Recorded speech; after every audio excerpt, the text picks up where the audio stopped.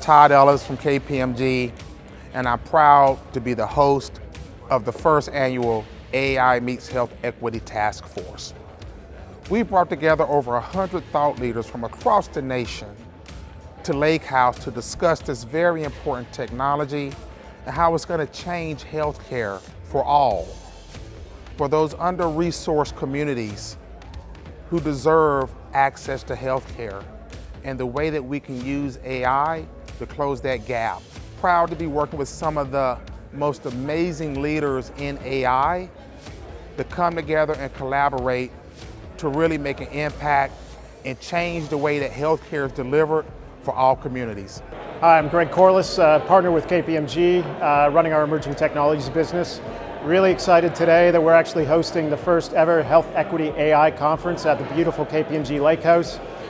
As you can see behind us, there's a lot of great individuals, all leaders in the healthcare industry, collaborating together on how health equity is going to help transform and bring health services to those, to those underrepresented communities in the US as well as globally.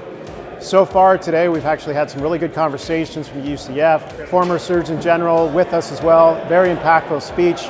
Uh, next step this afternoon, we're actually going to get into task force activities. We'll we got 11 tables that are all going to focus on how AI is going to play a role in transforming health equity services. Next year's 2024 Health Equity AI Conference will actually take those learnings and bring them and help to bring those to life and uh, continue the momentum that we're trying to generate here today. Hi, my name is Amy Blizzard. I'm a manager with the KPMG Ignition team and I'm also the health equity lead for our team. So we've had an incredible event this morning. We started out with putting everybody in, in task force tables. When we think about health equity, we know that health equity is not a problem that can be solved in silos, right? We have to work across sectors, um, adjacent stakeholders have to come together. Following that task force discussion, um, what's happening now is we're having a keynote uh, from Andrea Hules. After the keynote, we're going to have um, everyone do a vote with your feet and gallery walk activity where they're actually going to circulate the room,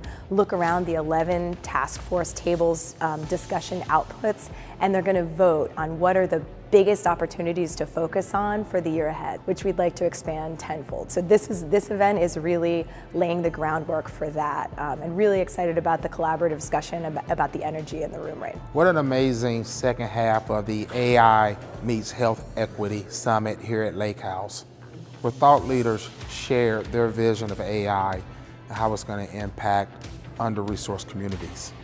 What we just accomplished, in my opinion, was second to none.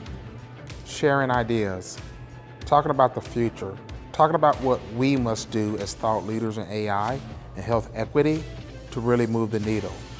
Public thought leadership, help create new technologies, ensuring that our algorithms and data are correct so that we can have the most impact on the communities in which we're going to focus in on.